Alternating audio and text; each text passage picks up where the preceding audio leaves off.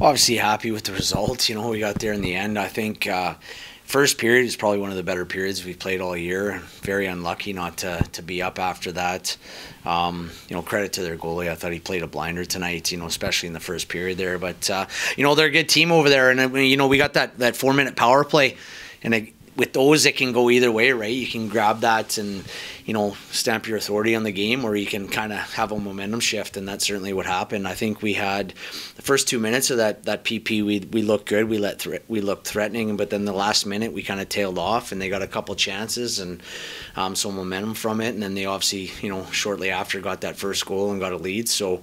Um, a good tip there by Nolts to get us back into it. And then uh, in the third period, again, I thought, you know, we weren't giving up much. And then all of a sudden, um, you know, just a, a, nice play there and a, a, nice shot by Reddick. You know, he picked top corner there and under the bar. And, you know, sometimes it takes that to win a hockey game. But, uh, you know, found a way in the end there. Obviously pulled the goalie and, you know, good good good spot by Tally right on top of the crease there and got a greasy one and then win in overtime. So I'm happy with the result. I thought the performance was, was great, and although we had to claw back to, to try and win that game, I thought I thought for large parts we were the better team tonight.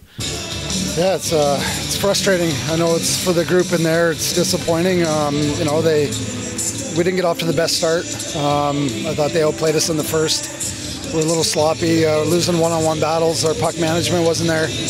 Um, but we turned it up. We got the first goal of the game there. We came out a lot better in the second. We kind of took command of the game and had a couple uh, really big penalty kills. Uh, Auntie played great for us in net, and man, it's our seventh overtime loss. So I feel bad for the group in there. They're, you know, we, we get to this stage so many times and just come out on the losing end. So it's uh, definitely disappointing for them. I mean, those are a lot of extra points we're giving up. So um, it's tight standings, and every point is crucial.